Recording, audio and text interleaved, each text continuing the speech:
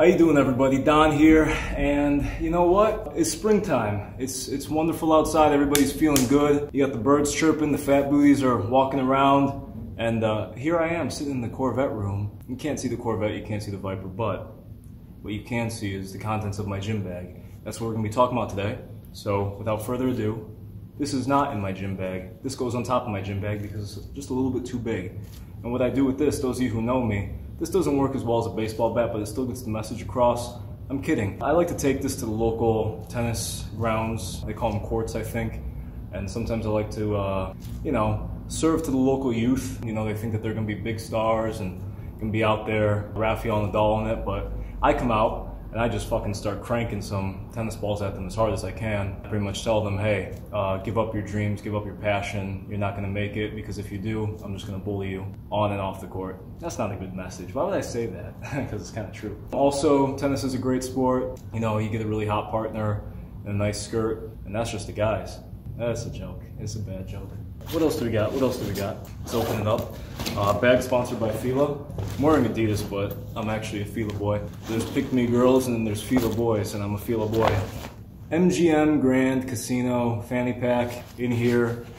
I have my tanning oil, Australian gold. Basically, you wouldn't expect when I take this shirt off that I have a 12 pack, but looks can be deceiving. And sometimes I just gotta get that shit tan, so I go to Heinz Park and I get practically naked leave my boxers on, maybe some short shorts, and lather myself up with uh, Australian gold. So they can use that if they want in some kind of viral marketing campaign. They can say, hey, you know, Don Mastro, he gets fucking naked in public in a park and uh, gets tan. And normally at the time, you know, I'm tripping and running through forest and all the little fairies and shit. So don't read too much into that. Don't read too much into that one. Bam.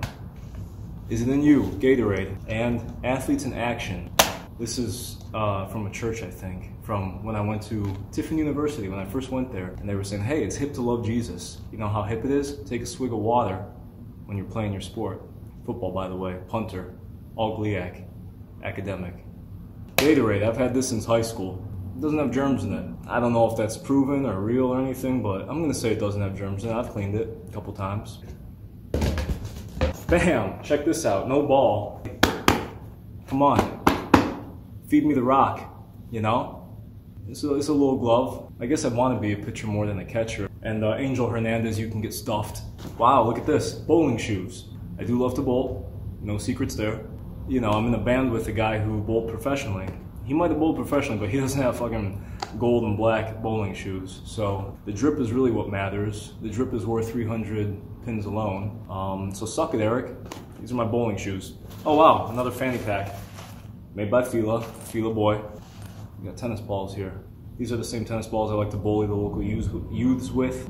I've never used this for anything but that. Maybe I could tell you some funny story about, you know, when I held PCP in there or something. Wow, look at these. They look like they've never been used because they haven't. I bought these to run sprints in. I don't really run too many sprints. I'd like to. I like to do it in my head. I like to do it in my dreams.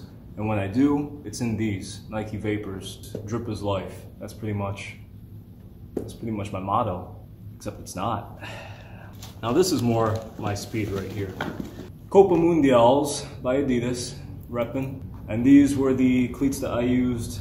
Oh shit, they still got AstroTurf in them. I used these in high school and in college. They're kicking shoes. Well, actually they're soccer shoes. I used them because like I said, I punted. Pretty straightforward. Would walk out there, everybody would laugh at me because, you know, I'd be the fucking guy. Not in the tough shoes. These are fucking beastly. Look at these.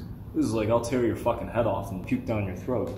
These are like, oh my god, who's that guy with the chicken legs and those high ass socks waddling out to the field in these clearly not football shoes? So yeah, they didn't do too much for my, um, for my image or for respect, but they got the job done.